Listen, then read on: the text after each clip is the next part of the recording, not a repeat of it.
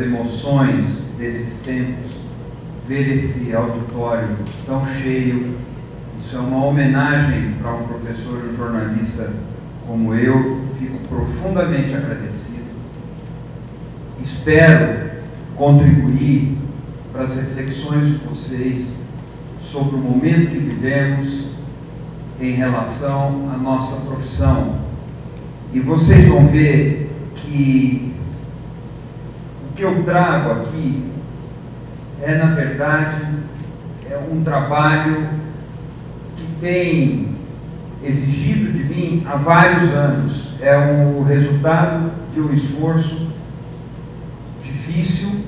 Uh, eu extraí essa palestra de um livro ainda não publicado, mas vocês vão notar que definitivamente o que eu vou dizer aqui não é uma fala ocasional dessas é, que a gente faz várias vezes. Os que me conhecem sabem que eu insisto em alguns pontos que estarão aqui, mas é um chamamento que eu vou fazer a uma necessária consciência que temos que ter. O maior impedimento no Brasil para o crescimento e a emancipação radical do jornalismo é a ausência do conceito. E por isso eu vou falar sobre o conceito de jornalismo e eu vou procurar demonstrar por que, que nós não temos esse conceito e por onde é que nós poderíamos avançar. Então, eu vejo que nós temos aqui vários jovens, vários de vocês devem ser alunos de graduação, eu vou dizer para vocês algo que eu digo muitas vezes para os meus alunos de graduação. Se preparem para um esforço. Eu não vou trazer uma atividade recreativa. Não vai ser um entretenimento. Em alguns casos, vai ser, vai ser dolorido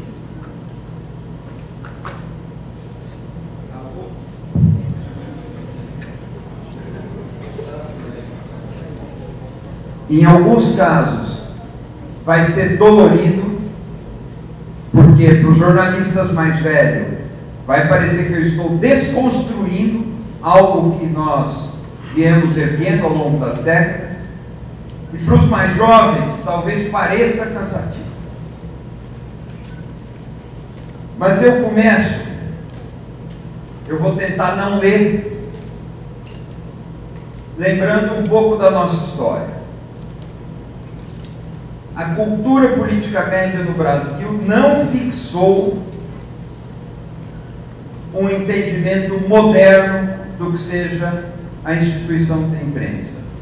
Em lugar de ser concebida como um espaço social gerado pela atividade jornalística independente, a ideia de imprensa entre nós costuma ser assimilada como uma espécie de dispositivo técnico, um aparelho destinado a difundir informação. De forma neutra, de preferência. Vem daí a ideia de que qualquer opinião crítica ou qualquer juízo de valor que conteste o poder é inadequado. No Brasil, muitas vezes nós temos a impressão de que a imprensa mais virtuosa seria aquela que não aborrece os de cima e não fere interesses dos amigos dos de cima, principalmente quando os de cima prometem falar em nome dos de baixo. E a tradição autoritária da imprensa no Brasil e a tradição autoritária do poder no Brasil corroboram isso a é o último milímetro. E cuidado, quando eu falo dos eu estou falando dos que ocupam o lugar do poder. E eu vou repetir, muitas vezes fazem isso em nome dos de baixo. Nós somos um país em que a censura nasceu antes da imprensa. A censura se estabeleceu aqui logo na chegada da família real ao Rio de Janeiro em 1808. Veio nas naus com Dom João. E aí, a família real chega, ocupa o seu lugar na cidade do Rio de Janeiro, desalojando algumas famílias de algumas casas, e ali se institui a mesa censória. Portugal tinha três tipos de censura tradicionalmente. Elas são unificadas, depois elas se separam novamente. A mesa censória se instaura e em setembro de 1808 a corte faz circular a Gazeta do Rio de Janeiro, primeiro jornal publicado no Brasil. A Gazeta do Rio de Janeiro, por sua vez, dá origem ao Diário Oficial. Não era exatamente um jornal, era um diário para falar bem do poder. Gazeta do Rio de Janeiro. Não nos esqueçamos também que o primeiro jornalístico, o veículo jornalístico de fato independente da história brasileira, foi o mensário Correio Brasiliense, que nasceu três meses antes do lançamento da Gazeta do Rio de Janeiro. Não me lembro se nasce diário. O Correio Brasiliense era uma espécie de livrinho, publicado todo mês por Hipólito José da Costa, a partir de junho de 1808, em Londres, para onde ele tinha fugido. Hipólito José da Costa nasce em terras hoje uruguaias, vai estudar em Lisboa, é perseguido pelo rei, é preso, foge da cadeia, vai viver no exílio em Londres e lá ele lança o Correio Brasileiro. Correio ficou censurado no até fechar em 1822. Mesmo assim, é considerado por nós jornalistas como o nosso primeiro jornal. Vejam bem, ele nasce no exílio, é mantido sob censura durante quase toda a sua existência, e é esse o nosso primeiro jornal. A dura censura era também macia, e desde aquele período a convivência entre a pena e a tesoura tem sido cortês, pacífica e ordeira, como se estivesse no DNA da mentalidade nacional. Ainda hoje, mesmo depois da Constituição de 1988, que expressamente veda toda e qualquer censura, isso está no artigo 5 e no artigo 220, tem outras menções. O veto judicial ao livre fluxo das ideias ainda tem sido comum e encarado com naturalidade. A mentalidade autoritária se faz sentir em outras esferas com igual naturalidade, até em partidos políticos. Lembremos que na campanha eleitoral de 2014, os dois maiores partidos políticos do país se sentiram à vontade para vetar, em comum acordo, a presença de jornalistas nos debates entre candidatos à presidência da República do segundo turno. Vocês se lembram? Os jornalistas não estavam presentes e os candidatos debatiam um com o outro sem a mediação da imprensa. Se os partidos políticos acham que daquele diálogo de surdos podia sair a expressão da democracia, eles acham também que a imprensa não é necessária para a instituição da normalidade democrática. Como que os debates podiam funcionar sem repórteres que apontavam erro nas respostas, que apontassem distorções e que restabelecessem a informação uh, de domínio comum. É muito curioso como nós julgamos natural essas manifestações diferentes, como a censura judicial e o veto à presença de jornalistas entre candidatos à presidência da República que debatem entre si.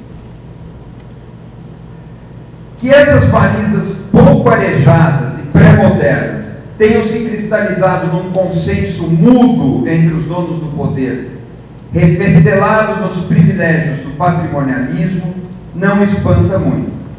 Elas vieram a calhar para os modos de dominação das oligarquias sobre a opinião pública domesticada. Até meados do século XX, eram raríssimos e efêmeros os projetos de jornal que não tivessem como fim a propaganda de um partido, de uma causa de elite ou mesmo de um sobrenome. Enquanto nos Estados Unidos, já a partir dos anos 1830, começavam a se insinuar os sinais de profissionalização na feitura dos jornais, os historiadores como Michael Schultzen e outros mostram que a partir de 1830 há uma evolução profissional na imprensa americana. No Brasil, a mesma tendência só se tornaria perceptível a partir dos anos 1960.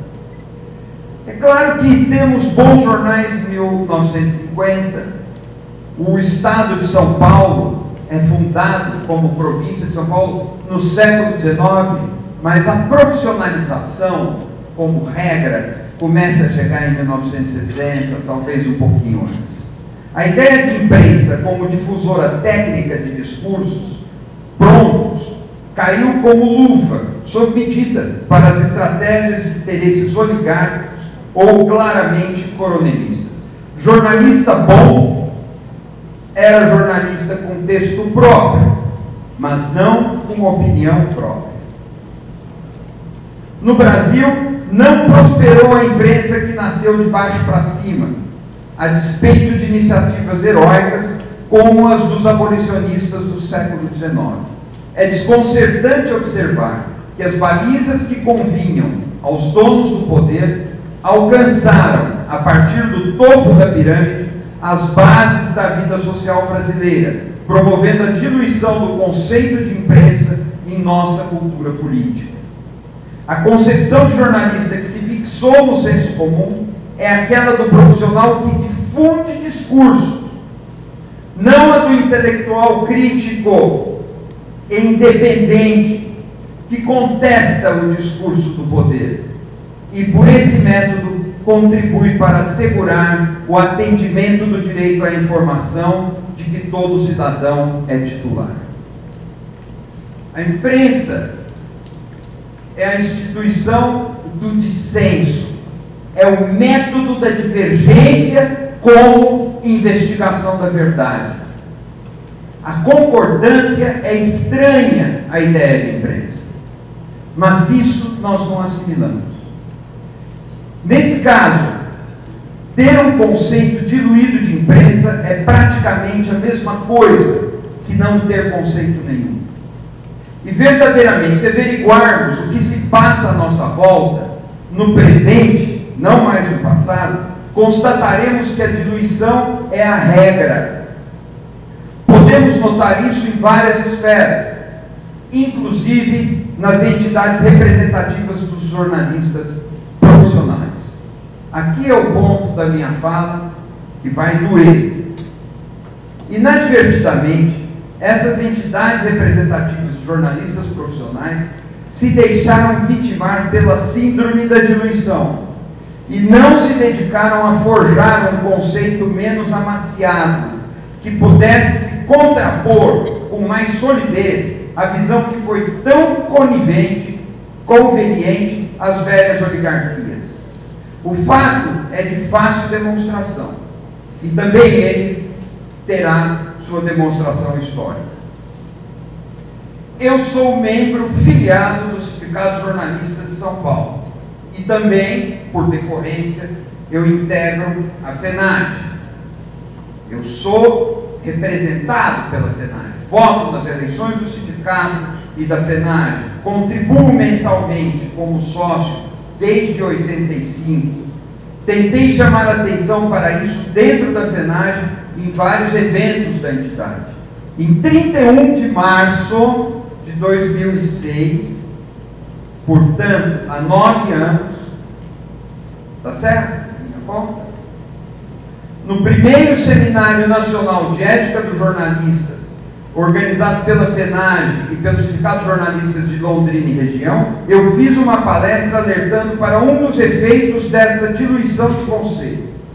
As nossas entidades adotam um discurso em que a profissão de assessor de imprensa seria meramente uma das modalidades técnicas da profissão de jornalista, assim como jornalismo econômico, jornalismo cultural. Essa visão contraria a tradição democrática estabelecida na América do Norte e na Europa, onde as duas ocupações são entendidas como separadas e muitas vezes como antípodas, naturalmente incompatíveis numa mesma categoria profissional. Por que é que no Brasil nós insistimos nessa visão? E outra pergunta: a quem é que essa visão beneficia? Outra vez, a história vai nos ajudar a entender por que isso aconteceu. Dos anos 60 para cá, os sindicatos de jornalistas dos diversos estados e também do Distrito Federal experimentam uma persistente e significativa migração de seus filiados para a área de assessoria de imprensa. Os migrantes, contudo, não se desligam, nem foram desligados a permanência dos assessores de imprensa dentro da entidade representativa dos jornalistas profissionais forçou, no próprio discurso da categoria, uma acomodação, eu chamaria de amaciamento, na tentativa irrefletida de legitimar esse duplo caráter sindical como se ele fosse um caráter único. Duplo caráter sindical porque representa o assessor de imprensa e o jornalista ao mesmo tempo.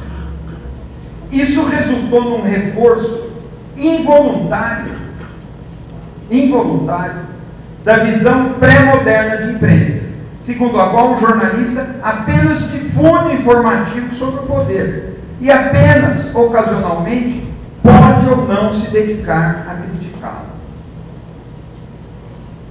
A mais inequívoca expressão desse discurso conciliador e diluidor pode ser lida no Código de Ética dos Jornalistas Brasileiros da Federação Nacional de Jornalistas, que é a FENAGE, e que congrega os sindicatos da categoria.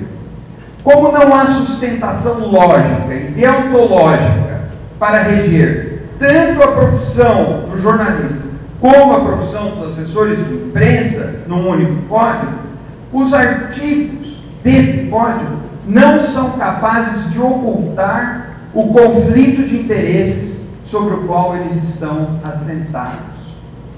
O código, com os seus artigos, não consegue disfarçar que ele se assenta sobre um conflito de interesses.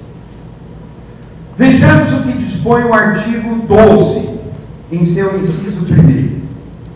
Diz ele: o jornalista deve, ressalvadas as especificidades da assessoria de imprensa, ouvir sempre, antes da divulgação dos fatos, o maior número de pessoas e instituições envolvidas em uma cobertura jornalística, principalmente aquelas que são objeto de acusações não suficientemente demonstradas ou verificadas.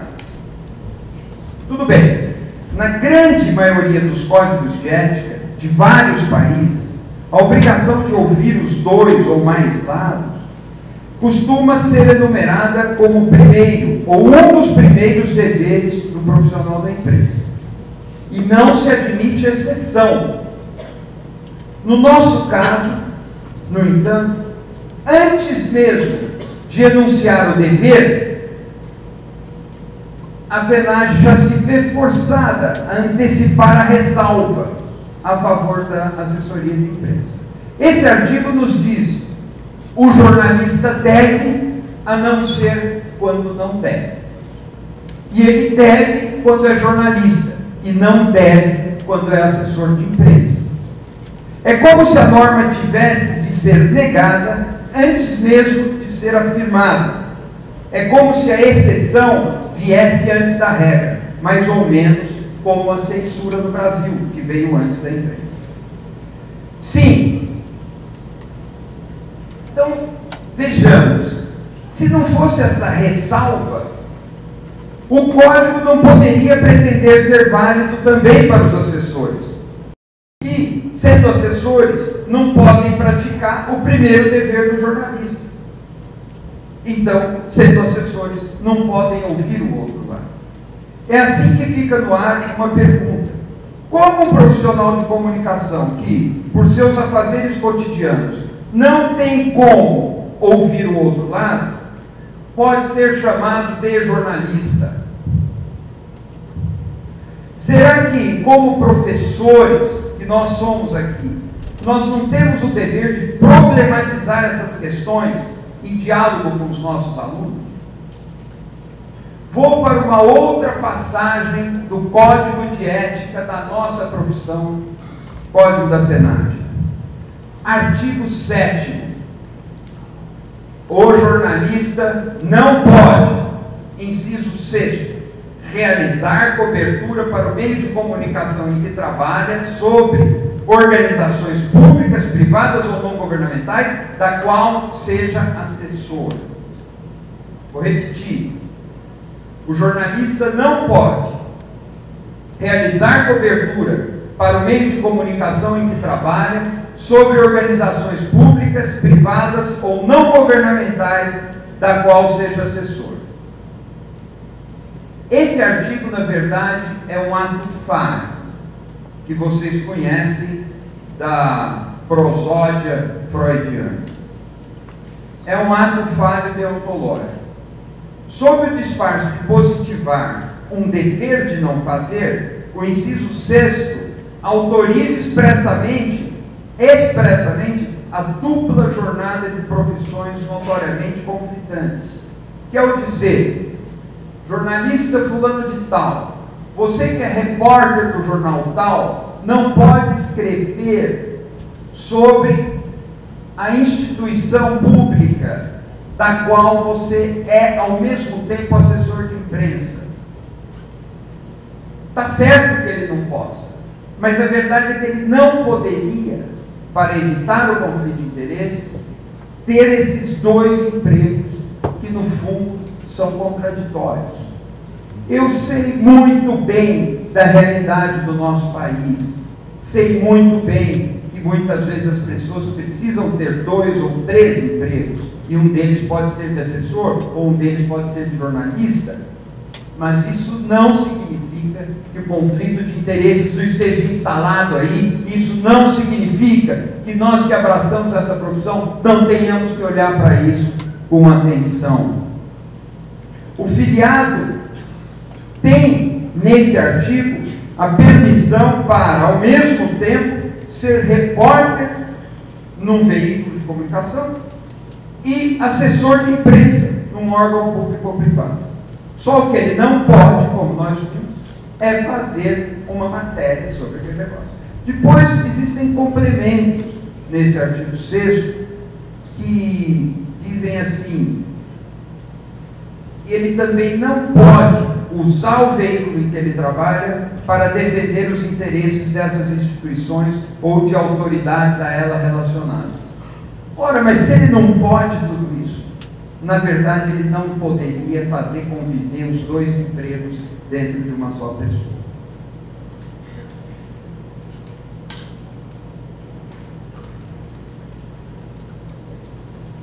Os sindicatos brasileiros estão na contramão nessa matéria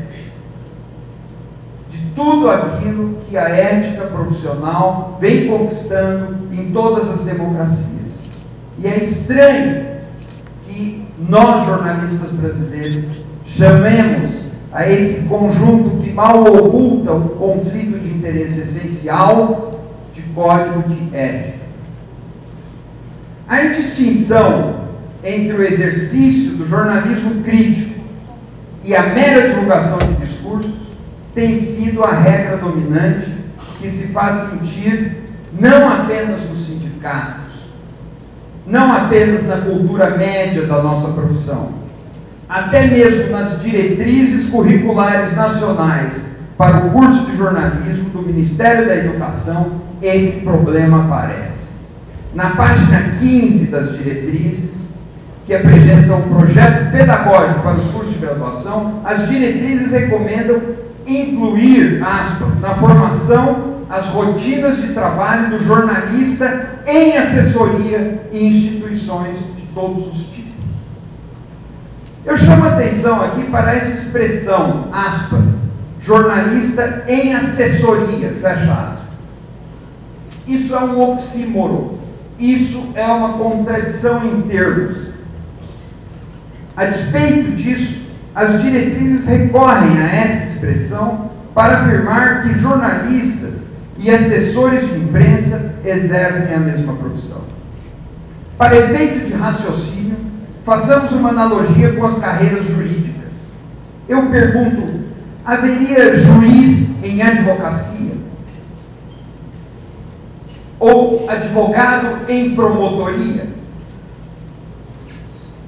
Por acaso, os que cursaram direito, os que se formaram em direito e são promotores públicos, podem se filiar à ordem dos advogados? Embora sejam todos de uma mesma formação, exercem papéis que se conflitam naturalmente na democracia. Cada um está de um lado. O juiz é juiz, quando um advogado presta concurso e é aprovado e se torna juiz, ele devolve a sua carteira para a ordem dos advogados e se desliga da ordem dos advogados. Em Portugal, quando o jornalista vai virar assessor de imprensa, ele devolve a carteira. Em todos os lugares, nada mais natural que assim seja. Mas fica a pergunta: por que, que nós somos, virtualmente, o único país em que isso aconteceu? Por que, que só no Brasil, consideradas aí as democracias que nos servem de referência, assessor de imprensa e jornalista são pretensamente a mesma profissão? Porque nessa matéria se deu uma convivência pacífica entre os interesses obscuros do dono do poder, que resistem ao Estado Democrático de Direito, e as necessidades conjunturais de entidades representativas dos jornalistas profissionais.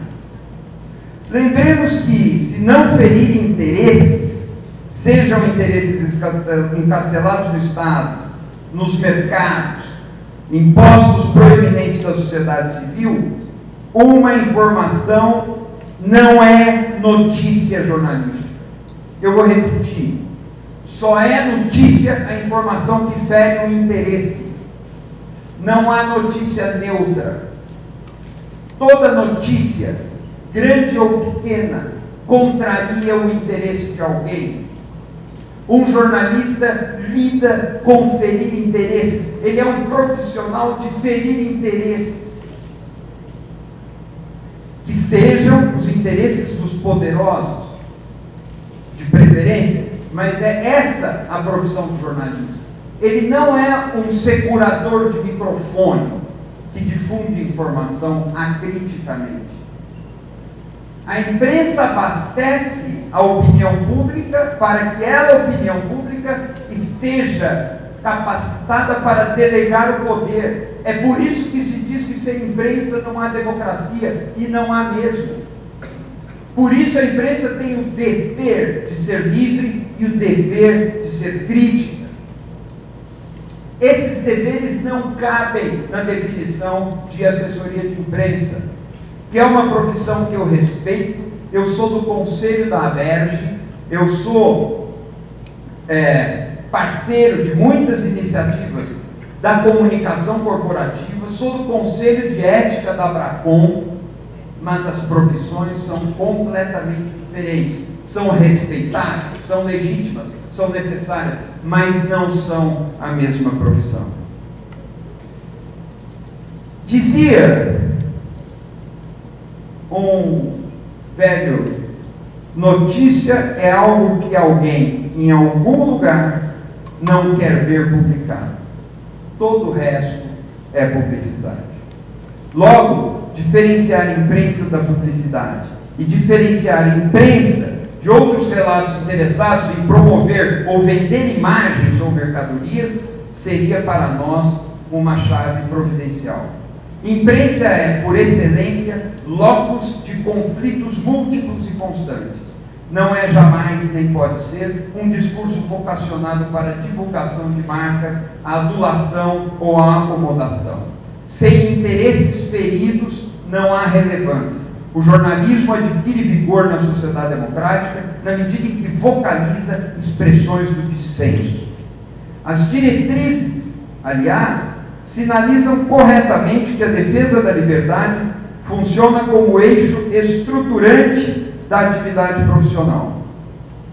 Numa profissão em que a liberdade de informar constitui um requisito essencial, numa atividade em que a independência editorial representa fundamento basilar, em que os valores do interesse público se tornam valores determinantes das decisões cotidianas, as razões das escolhas têm que resultar, evidentemente, da consciência cívica social. Isso é o que dizem as diretrizes corretamente. Acontece que, no quesito da separação necessária para nós entre assessoria de imprensa e jornalismo, as diretrizes ainda deixam a desejar e não nos ajudam a ultrapassar essa barreira. É nesse sentido que eu faço aqui uma contribuição para postulados ou para que tenhamos postulados um conceito de imprensa.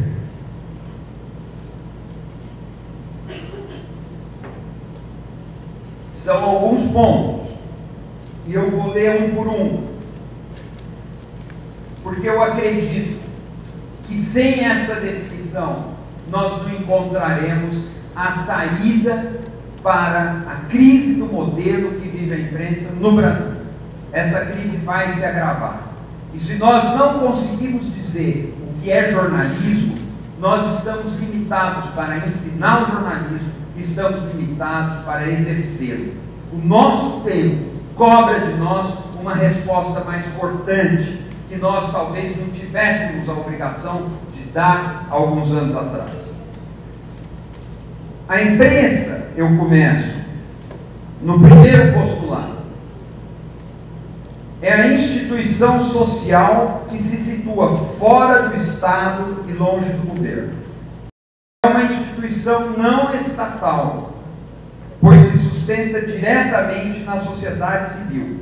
O jornalista, encarregado de mediar o fluxo de informação e os diálogos múltiplos que têm lugar nas instituições da imprensa, há de guardar distância em relação ao Estado e será tanto melhor quanto mais souber se apoiar na vida social, na sociedade civil ou no mercado, de modo complementar ou alternativo.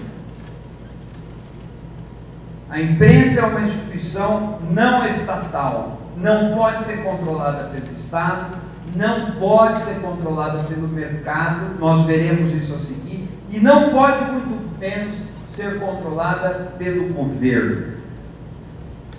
A imprensa é a instituição pela qual a sociedade debate livremente as ideias sobre as escolhas, os modos de viver e os destinos comuns de seus cidadãos. Vocês podem perguntar para mim depois, e as redes sociais?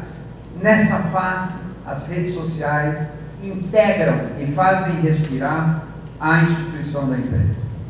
A imprensa é a instituição pela qual a sociedade debate livremente as ideias sobre as escolhas, os modos de viver e os destinos comuns de seus cidadãos. Sem a instituição da imprensa, a democracia é impossível e também inviável. Sem a imprensa, a democracia se degradaria numa roda presa apenas por meio da instituição da imprensa, apenas por meio da instituição da imprensa, o cidadão pode ter acesso a informações críticas sobre o poder. Somente pela instituição da imprensa, ele tem acesso aos debates que tematizam a gestão da coisa pública. Apenas por meio da instituição da imprensa, o cidadão pode efetivamente existir como fonte consciência, como fonte consciente da qual emana o poder. Sem instituição da imprensa, nós não temos como ver a informação que vem do Estado com olhos críticos. Se nós delegamos o poder como cidadãos, se nós não temos essa informação crítica, a nossa delegação do poder será de baixa qualidade. Terceiro postulado: nenhum poder econômico, político, estatal, religioso, problema gravíssimo hoje, familiar, militar, nenhum poder pode estar acima da instituição da imprensa. Ou a imprensa é livre de ingerências, ou não é imprensa. Quarto, se podemos conceber a imprensa como instituição, devemos inferir que o seu idioma é o jornalismo. Aqui eu vou fazer um pequeno deslocamento esses primeiros quatro postulados, eles vêm de uma visão institucional da imprensa, pensando a imprensa como instituição. Não é a única maneira de ver a imprensa, mas não é possível entender a imprensa sem considerar essa dimensão que ela tem. Agora, eu vou para uma outra região desse objeto, a imprensa. Essa outra região tem a ver com a linguagem, o que eu estou chamando aqui de idioma, e vocês vão entender. O jornalismo é o idioma da instituição da imprensa. Sob outro ângulo, podemos dizer que o jornalismo é a profissão daqueles que, na instituição da imprensa, estão socialmente incumbidos de atender ao público em seu direito à informação, segundo uma perspectiva crítica e independente. O jornalismo, então, não se define por aspectos estéticos ou por aspectos formais. Ele não é determinado pelos componentes estilísticos, nem mesmo por formalismos gráficos, um texto subdividido em título, olho, vídeo, etc. Ele se define antes por aquele a quem se destina, isto é, o cidadão, titular do direito à informação. Vou repetir. O jornalismo se define por aquele a quem se destina. O jornalismo não é um relato sem adjetivo. Pode ser, mas pode não ser. O jornalismo não é um texto organizado em título, olho, foto com legenda. Pode ser, mas pode não ser. O jornalismo é o discurso que se destina ao titular do direito à informação, que é o cidadão livre. É isso que define o jornalismo, aquele a quem ele se destina. O jornalismo é a linguagem, quinto postulado, e a atividade daqueles que na instituição da imprensa trabalham com independência editorial para atender a ao direito à informação. O, o jornalismo se define nesse ponto como atividade regular e profissional. Eu não acredito que voluntários trabalhando de graça o tempo todo, possam cumprir a função da imprensa. Na sua carta de princípios, American Society of Newspaper Editors, a Associação Americana dos Editores de Jornais, apresenta uma síntese interessante. Ela diz que o jornalismo exige de seus praticantes não apenas conhecimento e talento, mas também um compromisso com um alto padrão de integridade. Os princípios dessa associação ainda afirmam que a função primária de reunir e distribuir as notícias e as opiniões é servir o bem-estar comum, informando as pessoas e capacitando-as a fazer julgamentos sobre os temas do nosso tempo. Partindo daí, podemos afirmar o seguinte: o que um jornalista faz, no fundo, é contar aos seus contemporâneos o que as pessoas que despertam interesse estão fazendo, falando e sentindo. O jornalismo é a história narrada quente ou a sangue frio, em primeira mão. Ponto 7. Além de brilho e maestria no trato com a linguagem, como se fosse um artista da palavra ou da imagem, o jornalista se pauta igualmente pela correção, pela honestidade e pelo senso de justiça. Sem isso, o seu relato, ainda que encantador, não será confiável. 8. O jornalismo é sinônimo de independência, não custa repetir. Para funcionar direito, a democracia depende da vigência do princípio, segundo o qual todo o poder emana do povo e em seu nome é exercido. Eis porque a instituição da imprensa é indispensável. Estamos falando de lógica elementar. Para que os comuns do povo estejam aptos a delegar o poder, precisam estar bem informados sobre. Para que a informação que eles recebem tenha qualidade, ela deve ser apurada e editada por equipes independentes do poder. Se o poder fornecer informação sobre si mesmo, essa informação não é confiável. Para que a informação que os cidadãos recebem tenha qualidade, ela deve ser apurada e editada por equipes independentes dos poderes estabelecidos, equipes que dominem bem os recursos do idioma, que conheçam e pratiquem a ética profissional e que disponham das habilidades, dos conhecimentos e das competências necessárias para que sua função possa almejar a excelência. 9. A liberdade de imprensa existe porque corresponde a uma necessidade estrutural do sistema democrático ou do regime democrático. Essa função estrutural é atender o direito à informação.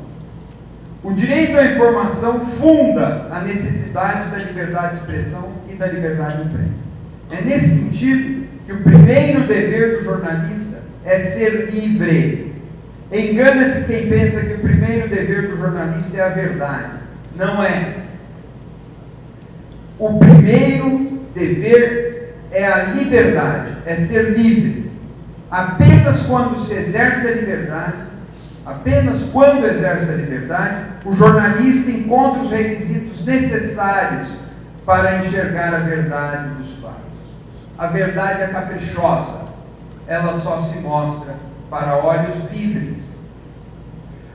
O exercício radical da liberdade é pré-requisito para a busca da verdade jornalística. A verdade jornalística só se deixa ver ao jornalista que toma a liberdade como dever. Décimo, além da linguagem e do idioma, além da profissão, o jornalismo também pode ser definido como método. É também como método que ele se distingue das outras atividades no vasto campo da comunicação social.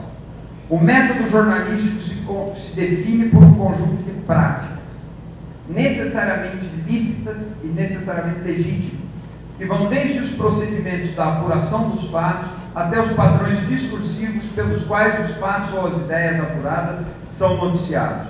Esse método supõe o permanente diálogo com as fontes e com o público o jornalismo é, então, um método de conhecimento imediato da história, baseado nas técnicas da reportagem, que se ordena numa forma narrativa particular, cujas virtudes são a precisão, a veracidade, a objetividade, a inteligência analítica, a crítica e a elegância do estilo, tanto em texto como em som ou imagem. Décimo primeiro, quando investiga, o jornalismo o jornalista não investiga como policial.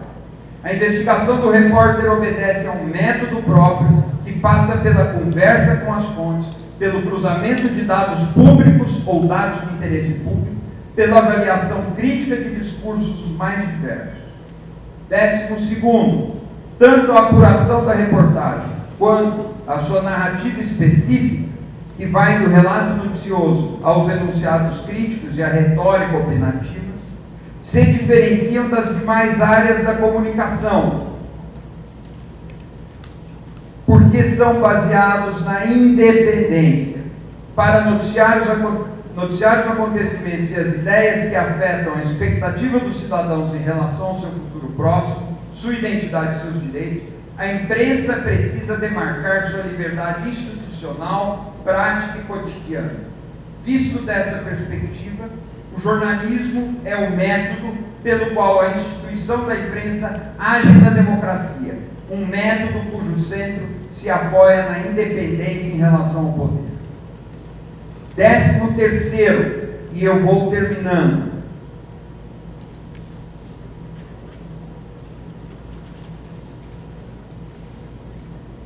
Me faltam três postulados e eu darei descanso a vocês. Décimo terceiro, quando se deixa capturar, em maior ou menor grau, direta ou indiretamente, por interesses estranhos à integridade do direito fundamental humana à informação, notadamente pelos interesses aplicados no governo, nos partidos políticos e nos agentes econômicos, religiosos e social de maior influência, o jornalismo se afasta da missão central que a democracia lhe otorgou: noticiar os fatos e as opiniões de interesse público, de modo a ajudar a sociedade a fiscalizar o exercício do poder e de apoiar os cidadãos a formar com autonomia suas próprias opiniões. Décimo quarto, cabe à imprensa revelar notícias que o poder preferia manter em sigilo. Décimo quinto, o jornalista é portador das interrogações que o cidadão tem direito de dirigir ao poder. O jornalista é o portador das perguntas. Assim fica mais fácil de entender por que, que o jornalista não se confunde nos aspectos formais ou estéticos com o trabalho do assessor de imprensa. O jornalista é pago para perguntar, o assessor de imprensa é pago para responder.